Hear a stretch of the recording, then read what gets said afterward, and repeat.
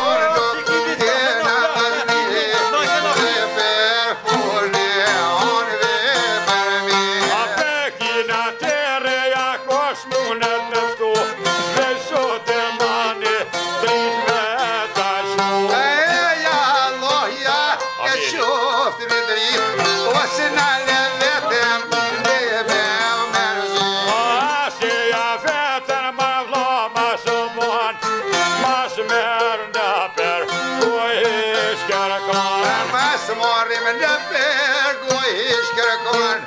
Oh, imagina!